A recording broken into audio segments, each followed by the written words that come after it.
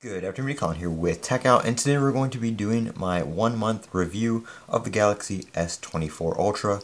Um, I've had this for just over a month now, and I've actually been meaning to make this review, but then they had the first update come out, and then a week later the second update came out, so I wanted to give it a little bit of time on the new updates uh, before I started talking about a bunch of stuff.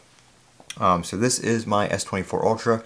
I did pre-order this uh, back in January. It is a 512 gigabyte uh, green one, and I actually have a red skin on here. There is a video on this skin on the channel if you want to check it out.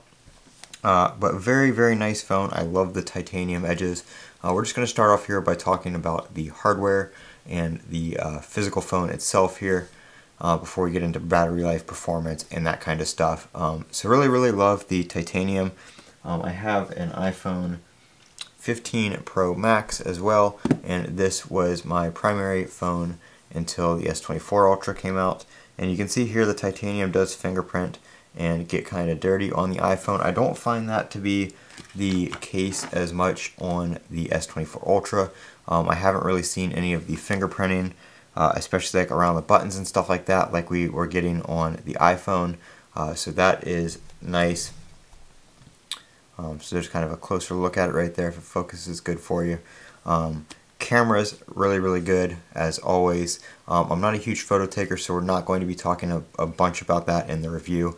Um, I usually just use my cameras for, uh, you know, quick pictures for like eBay or, you know, posting something on X or sending a picture to a friend over uh, SMS. So picture quality is not something uh, that we're going to focus on a huge deal.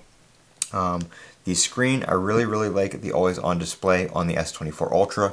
I like the fact that it now has the wallpaper on there.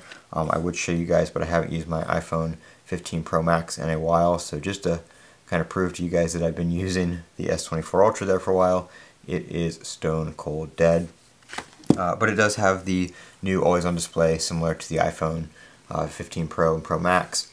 Uh, you've got the widgets and stuff here, which uh, these are just stock right here. You can set up uh, some more widgets and stuff like that by using Samsung Good Lock uh, for repositioning stuff and adding some more.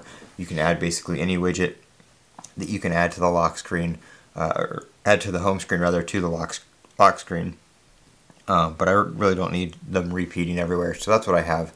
Um, screen is very, very nice. Um, it's a lot better after the update with the uh, colors and stuff like that. I actually keep mine on the middle vibrant uh, vividness uh, setting, sorry, the vividness setting, I keep it on the middle um, option, which I believe is comparable to like the S22 and S23 Ultra, and then the max option is comparable to like the S21.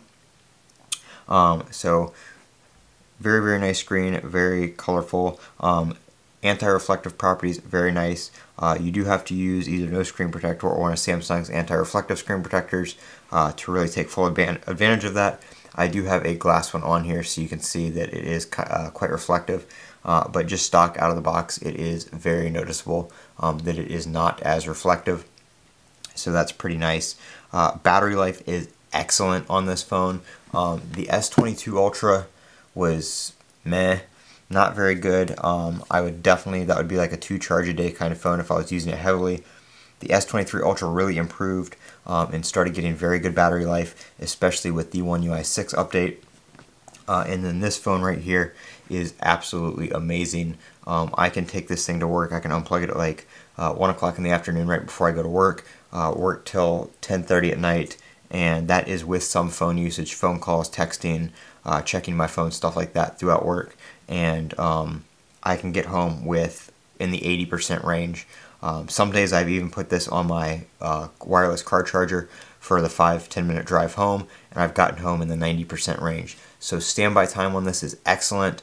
Uh, cell reception is excellent. It's not um, draining the battery a ton to uh, be inside a building or anything like that, which is something I noticed on the other two. The standby time was just absolutely terrible and it would drain to 60-70%.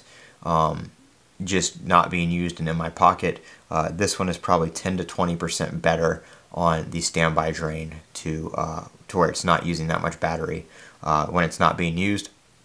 Um, I've been using my phone hardcore today and it's 11 at night, uh, sorry almost 12 in the morning and we're at 50%. So very, very good battery life. I did charge it once today, um, but I did not charge it last night. Um, so I did not start the day at a full charge. I started the day at about, about uh, 60% and I was home all day today, so I've been on my phone constantly. Um, I've been doing a bunch of YouTube stuff, responding to some emails on X, um, all that kind of stuff, uh, all on my phone today. Um, so, very, very good battery life. Uh, we'll talk about the S Pen here real quick. Not much has changed on the S Pen in terms of functionality, uh, but just one little side note. If you have an S22 or 23 Ultra uh, and you have an extra S Pen laying around, do not put it in your S24 Ultra. It will get stuck. I've done a video on this. Um, as you can see, this one has a kind of flat uh, end, whereas the 22 and 23, it is more of a rounded end. Um, and a lot of people complain that this sticks out too far right here. I haven't had any issues with it. Um, technically, you can get your nail under here and pull it out without uh, actually pushing the little pin button there. Uh, so it will come out if you catch it on something just right or whatever the case may be, but I haven't had that issue uh, whatsoever yet, but I have seen online some people have had that issue, uh, so just something to keep in mind there.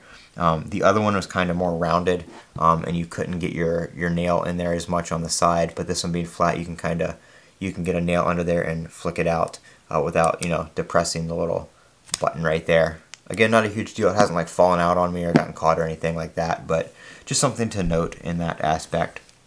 Uh, but that's really my one month um, review here. I don't have, you know, there's not really many cons.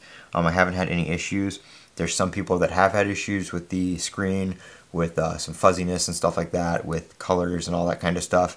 Uh, no issues here whatsoever. Um, like I said, coming from the 15 Pro Max right here, iPhone 15 Pro Max. Uh, haven't used this phone in a month.